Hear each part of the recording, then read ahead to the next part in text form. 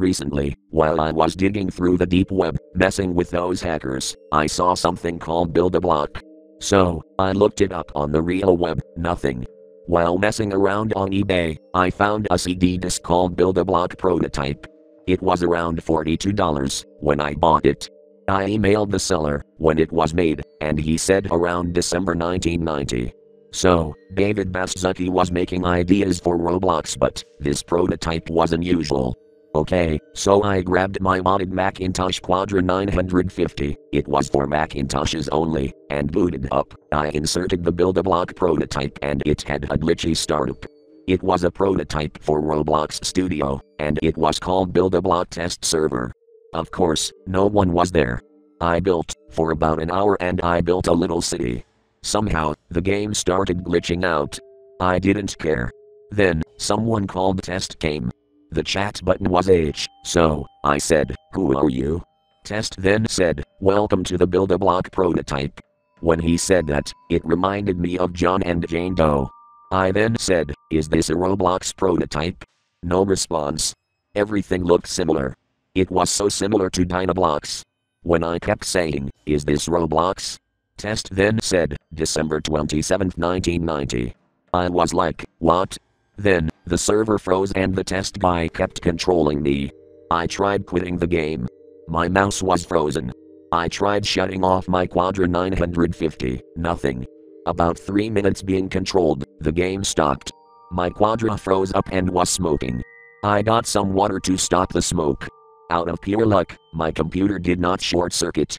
I looked up this prototype once again on my main computer I use, and this showed up on a deep web forum site. Build a Block was an unreleased prototype released around December 23, 1990 at 12:30 a.m. It showed up that late due to a problem of starting the prototype because of computer issues.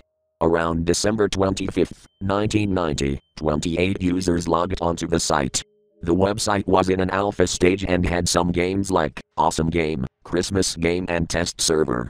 Test server had no players each day, and David Baszucki said, This server is not for the public, please don't enter. On December 27, 1990, one player decided to enter it, and around 4:25 a.m., he got banned from the Build a Block prototype and was murdered. On July 30, 2003, one of the old testers said 12 players were killed while entering that test server. Dynablox was sued for having manslaughter and 12 players randomly killed. Dynablox shut down on January 29, 2004. A day before Roblox was released, Baszucki promised he will never put up the cursed server and have people die. I searched up the cause of the 12 players' death was murder. Apparently, the one who brutally murdered those 12 players was probably that unknown test player that greeted me in the first place. About a year later, a video appeared on the Roblox forums that posted a YouTube link and the video was called Test. The video showed static, the video was really, really shaky and 12 players were on the server. The record date of the right corner said, December 27, 1990, 4.30 am.